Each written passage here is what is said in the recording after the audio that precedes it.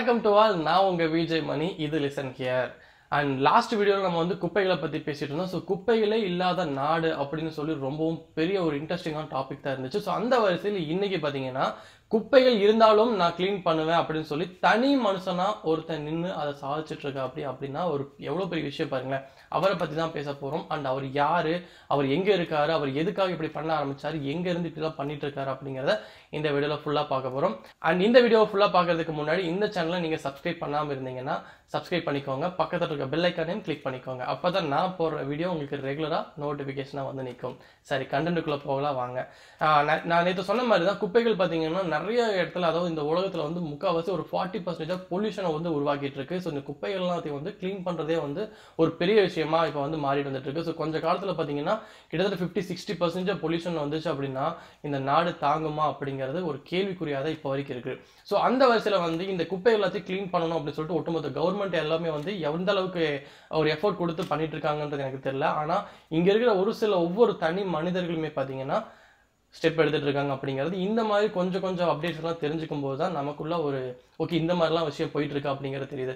சரி அது என்ன விஷயம் அப்படின்னு பார்த்தீங்கன்னா சவுத் அமெரிக்காவில் பெரு அப்படிங்கிற ஒரு ஊரில் மரினோ அப்படிங்கிற ஒருத்தர் பண்ணிட்டு இருக்க விஷயம் தான் இந்த விஷயம். அது என்னன்னு பார்த்தீங்கன்னா தண்ணியில் இருக்கிற ஒட்டுமொத்த கிருமிகள் அதாவது பாக்டீரியாவாக இருக்கட்டும் பாராசிட்ஸாக இருக்கட்டும் கிருமிகளாக இருக்கட்டும் வாட் எவர் எதுவாக இருந்தாலும் அதை சுத்தமாக க்ளீன் பண்ணுற ஒரு ஆர்கானிக் கிளீனராக கண்டுபிடிச்சிருக்காரு. ஸோ அது எப்படி அது எங்கே எப்படி இருந்து ஆரம்பிச்சிச்சு அப்படிங்கிறதான் பேசலாம். இவர் பார்த்தீங்கன்னா கிட்டத்தட்ட வந்து சின்ன வயசுலேருந்தே வந்து பார்த்தீங்கன்னா ஒரு சொந்த ஊரில் வில்லேஜாக இருக்கும் இல்லையா? ஸோ அந்த ஊரில் வந்து வாழ்ந்து வந்துட்டு இருந்தவர் ஸோ அவர் ஊரில் பார்த்தீங்கன்னா ஃபுல்லாக பச்சை பசியோடும் பயங்கரமாக வந்து ஒரு ப- எப்படி சொல்கிறது அந்த காலத்தில் ஒரு வில்லேஜில் எப்படி இருக்கும்? அந்த மாதிரி பச்சை பசியோடு இருந்த ஊரில் வாழ்ந்துட்டு வந்து கொஞ்ச நாளுக்கு வெளியே வந்து படிப்பு விஷயமா வெளியே போகிறாரு சில வருஷத்துக்கு அப்புறம் அவர் ஊருக்கு போகிறாரு ஊருக்கு போகும்போது பார்த்தீங்கன்னா அவர் ஊரில் கிட்டத்தட்ட ஒரு சில வருஷத்துக்கு முன்னாடி பார்த்த ஊர் அந்த மாதிரி இல்லாத மாதிரி இருக்குது ஸோ பார்த்தீங்கன்னா ஃபுல்லாக வறண்டு போய் அங்கே இருக்கிற தண்ணியெல்லாம் பார்த்தீங்கன்னா ரொம்பவும் கசகசன்னு க்ளீனாக இல்லாமல் ஸோ இந்த மாதிரி வந்து ஒரு சும்மா சுத்தமாக ஒரு டர்ட்டியாக இருக்கிறத பார்த்த உடனே இவருக்குள்ளே அப்போது ஒரு தாட் வருது. என்ன அப்படின்னு பார்த்தீங்கன்னா இவர் வந்து இந்த மாதிரி விஷயம் இருக்கு இல்லையா? இந்த தண்ணியெல்லாம் ஏன் இப்படி இருக்குது ஸோ இதெல்லாம் சுத்தப்படுத்துறதுக்கு யாருமே இல்லையா? நாமளாக ஏதாவது ஸ்டெப் எடுக்கணும்னு சொல்லிட்டு நாம ஏதாவது பண்ணியே ஆகணும் அப்படின்னு சொல்லி முடிவெடுக்கிறாரு. ஸோ இந்த வரிசையில் பார்த்தீங்கன்னா அவர் வந்து என்ன படிச்சிருக்காரு அப்படின்னு பார்த்தீங்கன்னா இவர் ஒரு சயின்டிஸ்ட் கிட்டத்தட்ட வந்து ஒரு பெரிய ஒரு சயின்டிஸ்ட் கூட. இவர் வந்து இந்த க்ளீன் பண்ணுறதுக்காக ஏதாவது ச- பண்ணணும்னு நினச்சிக்கிட்டு பிஹெச்டி பண்ணுறாரு எங்கே அப்படின்னு பார்த்தீங்கன்னா ஜாப்பனீஸ் யூனிவர்சிட்டியில் இதுக்கு சம்மந்தமாகவே படிக்கணும் அப்படின்னு சொல்லிட்டு பிஹெச்டியும் பண்ணி முடிகிறாரு ஸோ இதுக்கப்புறம் வந்து நம்ம இது க்ளீன் பண்ணுறதுக்காக நம்மக்கிட்ட பணம் வேணும் இல்லையா? ஸோ பணம் வேணும்னா கண்டிப்பாக வந்து ஏதாவது ஒரு இன்வெஸ்ட்மெண்ட் பண்ணணும். இன்வெஸ்ட் பண்ணுற அளவுக்கு அவர்கிட்ட பணம் இல்லை. ஸோ அதனால் அங்கே இருக்கிற ஒரு பேங்க்குக்கு போய் லோன் வாங்குறாரு. ஸோ லோன் வாங்கி அந்த காசை வச்சு அவரு கொஞ்ச நாள் டைம் எடுத்துக்கிட்டு இதுக்கு என்ன பண்ணலாம்? இதுக்கு சொல்யூஷன் எப்படி கண்டுபிடிக்கலாம்? அப்படின்னு சொல்லிட்டு பயங்கரமாக ஒரு ரிசர்ச் எல்லாம் பண்ணி அதுக்கு ஒரு சொல்யூஷன் கண்டுபிடிக்கிறாரு. அது என்னன்னு பார்த்தீங்கன்னா ஒரு பவுடர் ஸோ ஒரு ஆர்கானிக் முறையில் கண்டுபிடிச்சிருக்க ஒரு பவுடர் தான் வந்து அவர் அந்த சொல்யூஷன் சொல்லியிருக்காரு. சரி இதெல்லாம் வந்து அப்போல்லாம் வந்து வெ- வெளியே பேசிகிட்டு இருக்கும்போது பார்த்தீங்கன்னா இதெல்லாம் சரிப்பட்டு வராது இதெல்லாம் வந்து சக்ஸஸ் ஆகாது அப்படின்னு சொல்லிட்டு இருக்கும்போது அவர் அதை சக்ஸஸ் பண்ணி காமிக்கிறாரு. எப்படின்னு பார்த்தீங்கன்னா அவர் ஊரில் இருக்கிற அந்த லேக் இருக்கு இல்லையா? ஸோ அவர் ஊரில் அந்த லேக்கில் இருக்க தண்ணியை கொண்டு வந்து ஸோ அவர் வந்து டெஸ்ட் பண்ணி பார்க்குறாரு. ஸோ டெஸ்ட் பண்ணி பார்க்கும்போது அந்த பவுடரில் அந்த பவுடர் போட்ட உடனே கிட்டத்தட்ட ஒரு ஃபிஃப்டீன் மினிட்ஸ்லேயே பார்த்தீங்கன்னா அந்த தண்ணி சுத்தமாக பியூரிஃபயர் ஆகுது. ஸோ பியூராக தண்ணி மாறும்போது மேலே அந்த அந்த தண்ணியில் இருக்கிற பாக்டீரியாஸ் இருக்கட்டும் அழுக்காக இருக்கட்டும் கிருமிகளாக இருக்கட்டும் எல்லாமே பார்த்தீங்கன்னா தண்ணிக்கு மேலே மிதக்க ஆரம்பிக்குது. ஸோ இந்த பவுடரோட ஸ்பெஷாலிட்டி என்னன்னு பார்த்தீங்கன்னா இது வந்து சுத்தமாக ஒரு மேக்னெட்டிக் பவர் அப்படிங்கிற ஒரு விஷயத்தையும் கொடுத்துருக்காங்க. அண்ட் இது பார்த்தீங்கன்னா ஒரு நானோ பப்ளிக் சிஸ்டம் அப்படிங்கிற ஒரு விஷயத்தை யூஸ் பண்ணி இந்த ஆர்கானிக் முறையில் இந்த பவுடரை கிரியேட் பண்ணியிருக்காங்க சரி ஓகே இதை வந்து டெஸ்ட் பண்ணியாச்சு. கண்டிப்பாக நம்ம இதுக்கப்புறம் ஒரு பெரிய விஷயத்தை கிரியேட் பண்ணணும் அப்படின்னு சொல்லிட்டு அவர் தனி மனுஷன் என்ன பண்ணாருன்னா கிட்டத்தட்ட மில்லியன்ஸ் ஆஃப் டாலர்ஸ் செலவு பண்ணி அவர் அந்த விஷயத்தை பெரிய அளவில் கண்டுபிடிச்சு அவர் ஊரில் இருக்கிற ஒரு பெரிய ஏரி அந்த ஏரியவே க்ளீன் பண்ணி இந்த மாதிரி விஷயத்த கிட்டத்தட்ட ஒரு ரெண்டு மூணு மாதத்துக்கு அப்புறம் பார்த்தீங்கன்னா அந்த ஏரியை சுத்தமாக ஆயிடுச்சு ஸோ அந்த ஏரியில் பார்த்தீங்கன்னா இப்போ கிட்டத்தட்ட பார்த்தீங்கன்னா எந்த அளவுக்கு க்ளீனாக வாட்டர் இருக்குது அப்படிங்கிறது இந்த இமேஜில் பார்த்தீங்கன்னா உங்களுக்கே தெரியும். ஸோ அந்த மாதிரி க்ளீன் பண்ண உடனே அந்த அந்த தண்ணியில் பார்த்தீங்கன்னா இதுக்கு முன்னாடி அதாவது இந்த க்ளீன் பண்ணுறதுக்கு முன்னாடி பார்த்தீங்கன்னா ஒரு மீன் கிடையாது. அந்த தண்ணியில் பார்த்தீங்கன்னா யாரும் குளிக்க முடியாது. ஒரு கு- குருவியோ பறவைங்களோ இல்லை விலங்குகளோ இங்கே நாய்க்குட்டிங்களோ எதுவுமே வந்து தண்ணி குடிக்கிற அளவுக்கு கூட கிடையாது. அந்த அளவுக்கு வந்து டர்ட்டியாக இருந்துச்சு. இப்போ அது க்ளீன் பண்ண உடனே பார்த்தீங்கன்னா அந்த தண்ணியில் ஏகப்பட்ட மீன்கள் வர வர ஆரம்பிச்சிச்சு.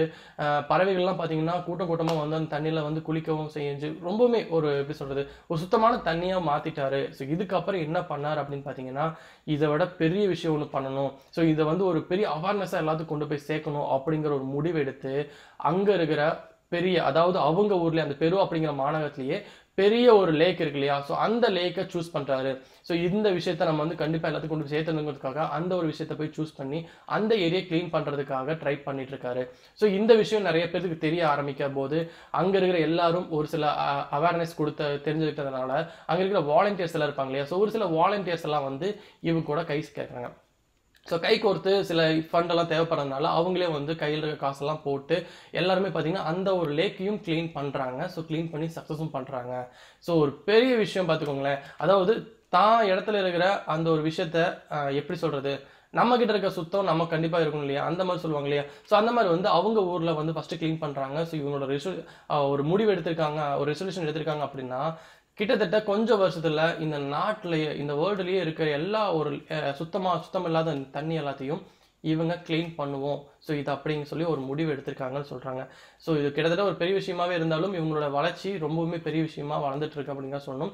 இந்த விஷயம்லாம் எப்போ வந்திருக்கு அப்படின்னு பார்த்தீங்கன்னா கிட்டத்தட்ட ரெண்டு வருஷத்துக்கு முன்னாடி வந்திருக்கு.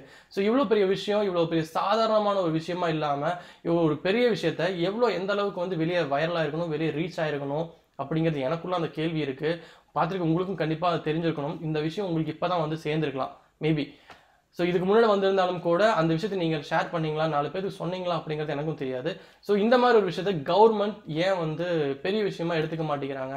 அண்ட் பெரிய விஷயமா எடுத்துக்கலனாலும் பரவாயில்ல. அட்லீஸ்ட் இதை ட்ரை பண்ணவோ செஞ்சுருக்கலாம் அப்படிங்கிறத நானும் யோசிச்சுட்டு இருக்கேன். அண்ட் ஏன் பண்ணலாம் பண்ணாங்களா இல்லையா அப்படிங்கிறது கண்டிப்பாக உங்களுக்கும் தெரியும். அண்ட் இந்த விஷயம் வந்து அவங்க மெயினாக என்ன சொல்லியிருக்காங்க அப்படின்னு கேட்டாங்கன்னா அவங்கக்கிட்ட ஒரு சிலர் கேள்வி கேட்கும்போது இந்த விஷயம் ஏன் மற்றவங்களாம் பண்ண மாட்டேங்கிறாங்க?